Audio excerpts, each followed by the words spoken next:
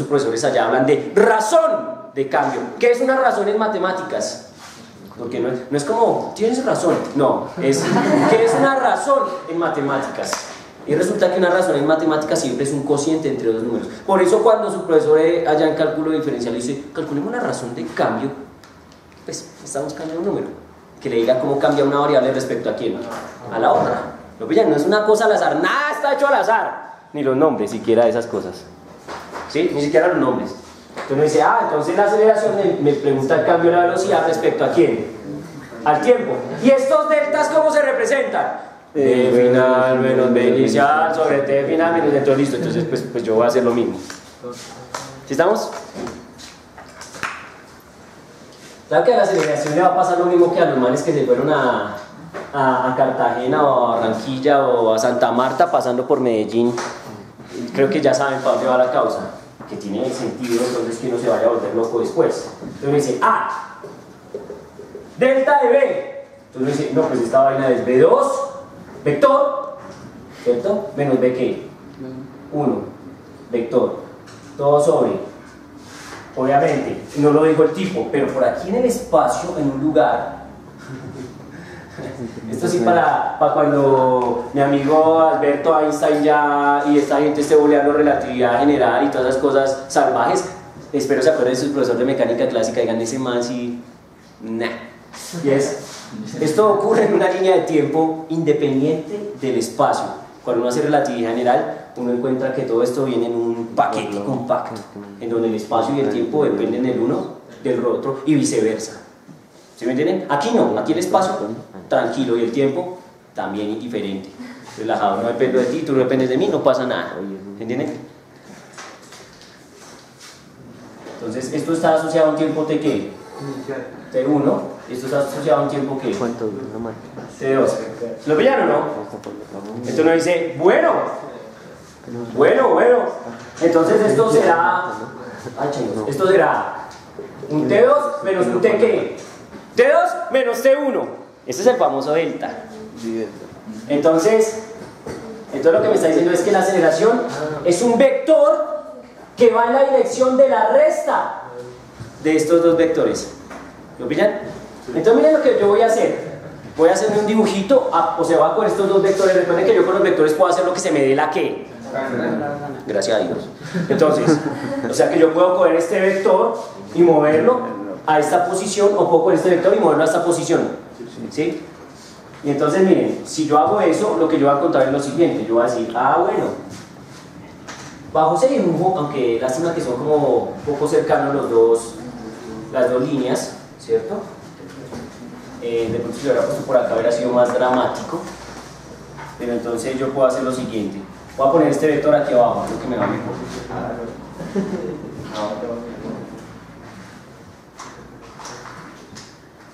Uy, qué mal. Tiene que ser paralelo, más paralelo.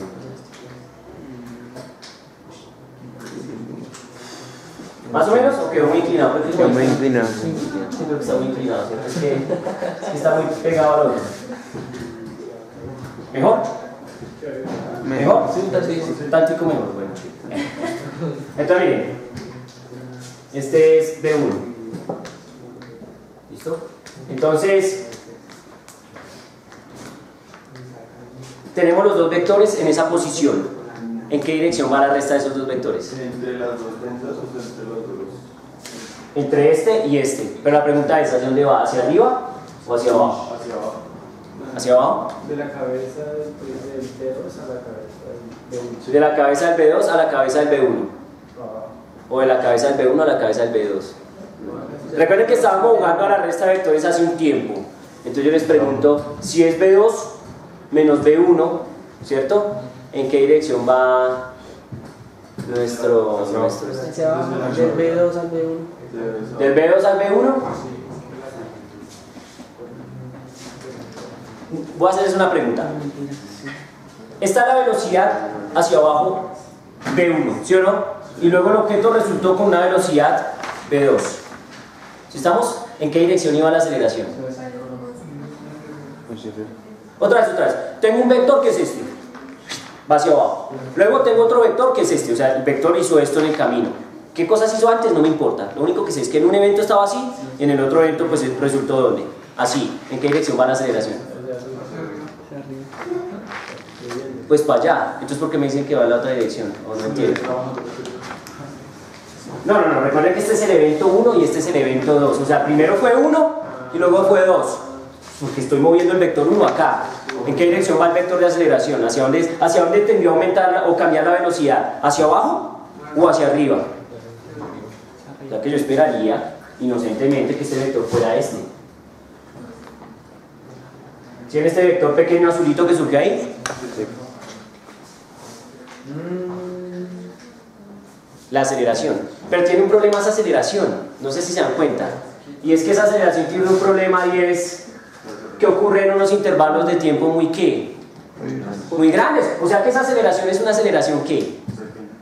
Cuando teníamos una velocidad de un punto a otro punto y notábamos el cambio, decíamos que era muy grande y esa velocidad, ¿cómo la llamábamos?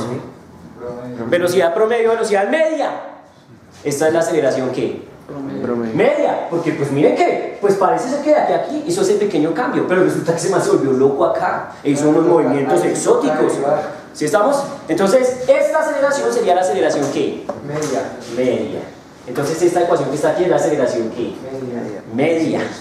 La aceleración media. Pero entonces Newton, nuestro amigo, nuestro gran genio, dice, ¿cierto? El tipo dice, oiga, miren que esto tiene un problema, porque resulta que eso no me da cuenta, no me da razón de realmente lo que está pasando con el mosquito en todo el camino, solo me habla de un cambio promedio entre este punto y este punto. ¿Qué debo hacer yo? ¿Qué debo hacer yo para que eso me hable de la aceleración instantánea, es decir, en cada instante de tiempo? Entonces, irme acercando más. Entonces voy haciendo este delta de t cada vez más que más pequeño. Y entonces uno vuelve y juega, el profesor queda como un príncipe y dice otra vez, miren, es que pasa que pasa que Entonces uno dice que otra vez, esto es delta de t, ¿cierto? Entonces el tipo otra vez nos vuelve a decir lo que dijo ese día, dice, miren, es que V2 es lo mismo que tener la velocidad o un ente físico llamado velocidad que está evaluado en un tiempo T2 y este V1 es la misma velocidad que está evaluada en un tiempo T1. ¿Están de acuerdo o no? Y entonces luego el tipo dice, ah, pero es que resulta que el delta de T es T2 menos T1. Entonces yo puedo expresar, por ejemplo, T2 en términos de T1 diciendo que esto es... Eh, T2 va a ser igual a delta de T más T1. ¿Están de acuerdo? ¿Sí? ¿Sí? Y entonces yo puedo decir entonces que en conclusión B2 va a ser B de T2, pero T2 es T1 o simplemente T más delta de T. ¿Sí lo pillan? Y ahora reemplazo esas estructuras en esta receta. Entonces yo digo, ah, la aceleración media se va a ver así. B2, B de T más delta de T menos B de T, es que el T1 lo terminé llamando T. ¿Sí estamos? Todo dividido entre quién? Entre T2 menos T1 que vuelvo al pasado y digo que es delta de quién? De T. ¿Están de acuerdo para dejar todo en términos del delta? De T.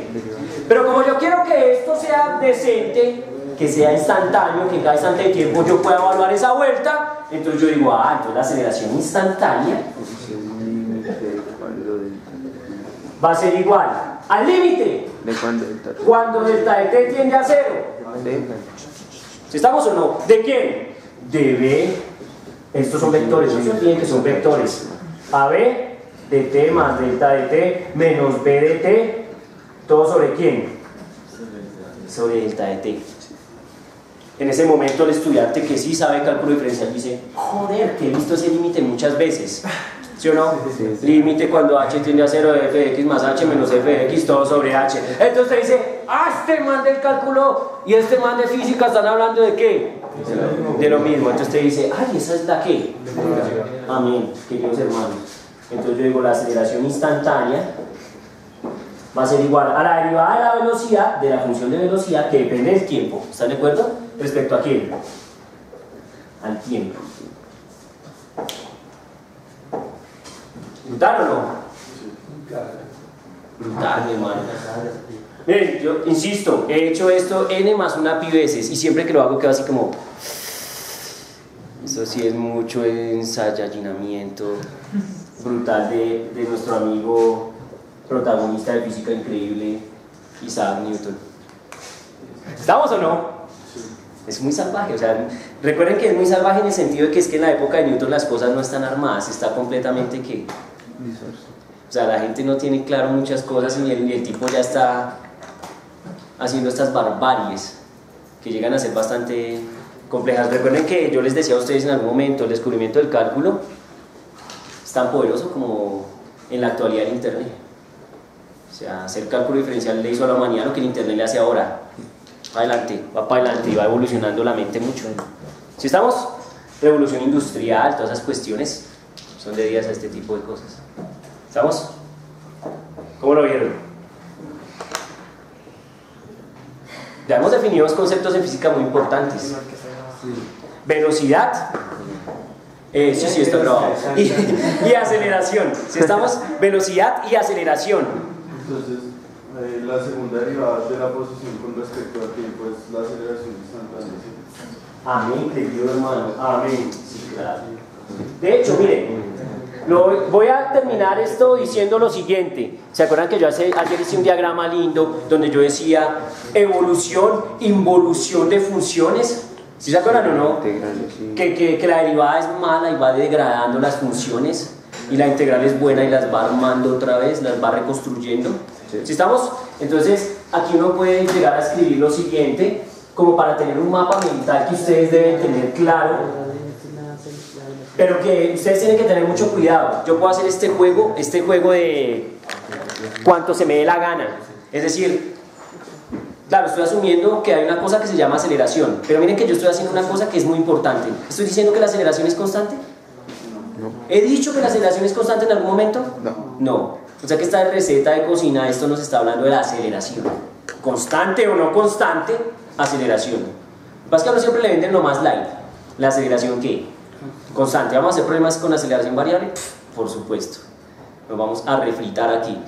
El profe no se ha dañado. Claro, mi hermano, es que esa es la idea. ¿Sí estamos? Entonces, nuestro mapa era el siguiente. X de vector, mapita, derivada de x de t respecto a t. Esto me da qué? d de t. ¿Cierto? Si nos devolvíamos por acá, entonces la integral de b de t de t nos llevaba a este fulano. ¿Sí lo pillan? Este fue nuestro mapa ayer. Y ahora miren, le hicimos una pestaña arriba al mapa y es la derivada de la velocidad respecto al tiempo es igual a qué? A la aceleración que depende del tiempo.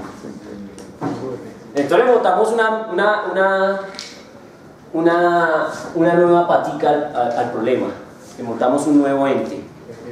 ¿Y qué intuyen ustedes? Integrar la aceleración, la velocidad. Entonces que integrar la aceleración nos permite hallar la qué? La velocidad. ¿Sí, sí tiene sentido o no? Es un juego salvaje. Entonces integramos la aceleración que depende del tiempo respecto al tiempo y nos devolvemos. ¿Sí ¿Lo pillan? Aquí un amigo me dijo algo inteligente, allá mi amigo el innombrable dijo que, que esto que está aquí, esto que pasa de aquí a acá, es decir, el, el famoso de BT, también se puede escribir como la segunda derivada de la posición respecto a quién? Al tiempo, es decir, de, hoy la, la función de posición la derivé una vez, me dio esto, la vuelvo a derivar, esto, entonces es la segunda derivada de la primera función. O la primera derivada de la segunda función. ¿Sí estamos? ¿Cómo? Básicamente que es rapidez. ¿Cu- ¿Cómo así? ¿Cómo así? Que la siguiente derivada. ¿Acá? Sí. No, no, no, no. No, rapidez es un concepto que está asociado a velocidad. Acuérdense que rapidez es la norma de la velocidad, es una escalar. ¿Que, que si aquí hay más derivadas e integrales? Sí, la que se les dé la gana. Lo que pasa es que los físicos solo han definido dos conceptos fundamentales. Bueno, tres. Posición, velocidad y aceleración. Pero si usted tiene una aceleración variable, usted puede derivar y hallar si la, si la razón de cambio de la aceleración es constante. ¿Sí me entienden? Y entonces si usted tiene ese valor, usted dice, ah, ese valor es constante, entonces si lo integra se devuelve a quién? A la aceleración. ¿Me entienden cómo es? Es un juego que yo puedo seguir extendiendo hacia allá. Lo que pasa es que en física nadie le ha dado nombre de aquí para allá. Yo me he arriesgado a darle un nombre y me gustaría que hicieran esa tarea y buscaran si eso es así o no. A y, y de pronto yo estoy maldiciendo. Lo bueno es que no ha quedado grabado en video de esas épocas. Y es que si por ejemplo yo encuentro, o sea, yo puedo seguir derivando, entonces encuentro otro ente físico acá que me dice cómo cambia la aceleración respecto al tiempo, lo podríamos llamar celeridad. Celeridad. Miren a ver si se puede así o no, o de pronto eso simplemente es aceleración. ¿Me entienden? Si no, nosotros le damos un nombre. Y si nos da la gana, le ponemos cualquier nombre. Ustedes me dicen qué nombre quieren y le ponemos el nombre. ¿Me hago entender? Aunque los físicos no hayan dicho, a mí no me importa. Porque usted ya me sabe que el juego es que, que usted tenga claro un nombrecito para ese ente físico que hace que la aceleración cambie. Yo qué sé, cualquiera que sea. ¿Me a entender o no? Pero los tres entes físicos fundamentales son posición, velocidad y aceleración. ¿Y sabe por qué la aceleración es relevante? Porque está clavada en la segunda ley de Newton. Porque es la ventana entre estos eventos y los eventos de Newton. ¿Se va a entender? Es por esa razón. ¿Qué, papito? Pero digamos, si se vuelve a derivar la aceleración, ¿no haría metro sobre segundo a la 3? Sí, claro. Y si lo hago con otra, metro segundo a la 4, metro segundo a la quinta, metro segundo a la sexta, y uno puede hacer hasta donde se le dé la gana. ¿Me van a entender? Lo que pasa es que eso nadie lo ha nombrado como un ente físico.